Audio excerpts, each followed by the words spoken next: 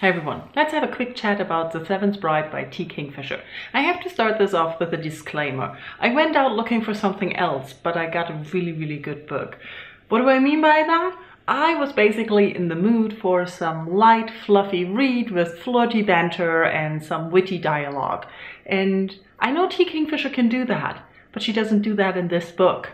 The Seventh Bride is a book with some random magic and a miller's daughter who's 15 years old who finds herself all of a sudden engaged to a very old lord. And she cannot really explain how that happened, why he wants to marry her.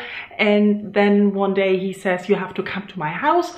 And she finds that creepy as well. And it is creepy. And a lot more creepy things are happening at the house. There's magic, there are riddles and mysteries. And we have a very good, strong female lead.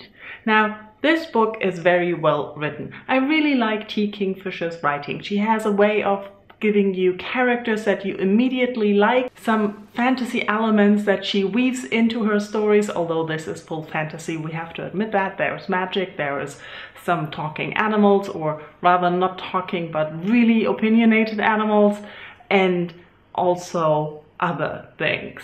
So what I really liked about this book was how we see this 15 year old miller's daughter, a peasant, who has to basically do what the Lord wants. And she's really not wanting to do that, but she always knows there's no way out. And I liked how this was presented that for a lord to ask to marry a peasant, that's perfectly normal and there is no way to say no. This was a very clear concept in the book that it was always mentioned. You really don't have a choice.